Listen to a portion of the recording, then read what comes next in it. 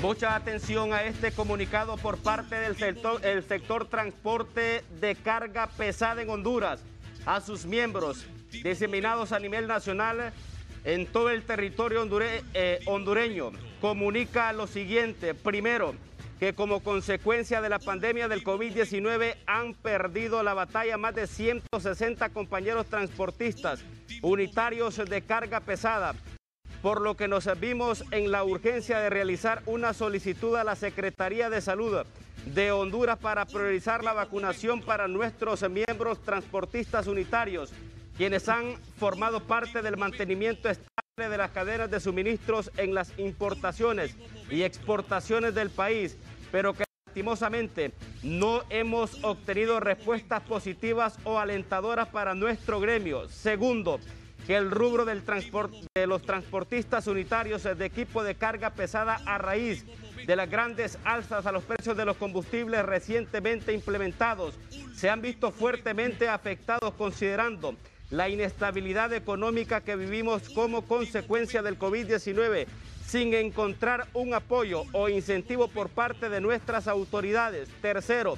que actualmente para la, la obtención de los permisos de explotación de nuestro equipo de carga pesada se debe de pasar por trámites excesivamente onerosos y burocráticos que en lugar de facilitar e incentivar dificultan la circulación y ponen en precario el sustento de nuestros operadores de transporte unitario. Cuarto, que a falta de un interés real y legítimo de nuestras autoridades gubernamentales por el bienestar y apoyo a nuestro gremio de transportistas unitarios, el equipo de carga pesada estamos realizando, mucha atención a este informe, convocatoria a transportistas unitarios de equipo de carga pesada en Honduras a realizar un paro nacional y a movilización de todas nuestras unidades y equipos, a estar atentos al llamado para fijar día, hora y lugar donde se llevará a cabo la convocatoria.